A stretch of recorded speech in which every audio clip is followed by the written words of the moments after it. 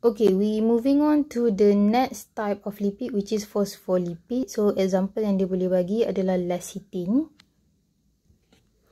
Okay, so phospholipid ni function dia kepada structural component of cell membrane. So sebenarnya ada pada kita lah sangat rapat. So, kita akan belajar phospholipid ni lebih in chapter 2, next chapter.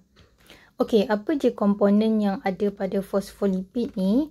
So, untuk fosfolipid, kita, uh, perbezaan dengan yang sebelum ni triglyceride, kita ada penambahan lagi satu which is one phosphate group.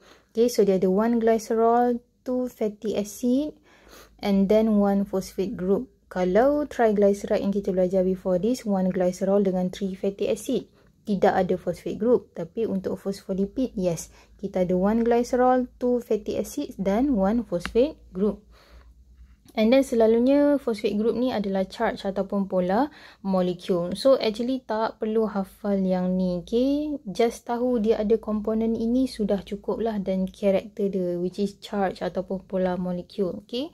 Uh, tak perlu seriously you you tak perlu pun tahu macam ni nak lukis ini ini ini. Just tahu ini komponen apa. Ini phosphate group and so on. Okay.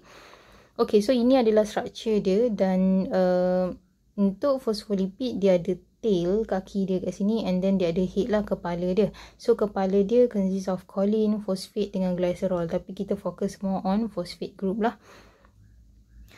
Uh, and then and then tambahlah glycerol dekat sini, okay? And then phospholipid ni adalah amphipathic.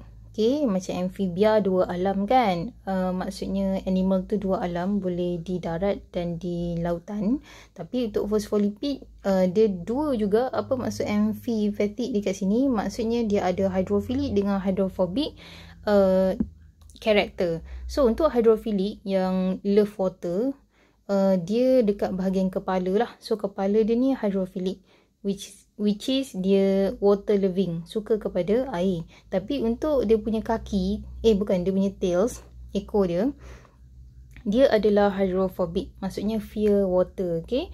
Uh, so disebabkan tu nanti dia akan susun lah kalau kawasan yang kena air contohnya dalam badan kita so hydrophilic head ni semua akan keluar lah.